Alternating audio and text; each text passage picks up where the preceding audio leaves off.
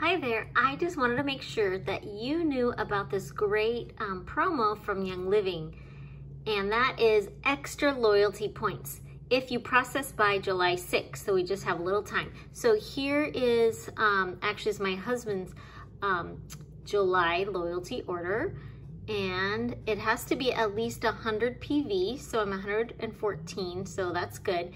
And look what I get as a free gift, I get 20 loyalty points if I process by July 6th. So I don't wanna change the processing date usually. I just, I'm gonna keep it here July 18th, but you can do this button, process now, and then it will always, you know, I can get it right now and know. So there's the total.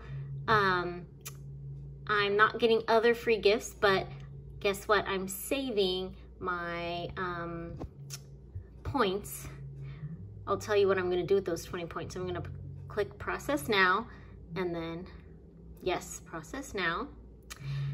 And the cool thing is I am gonna save those, make sure that worked, um, 20 points, there it is, my order details, for um, these 20 points um, to use um, for a one-time order during convention because they're gonna release all the cool products.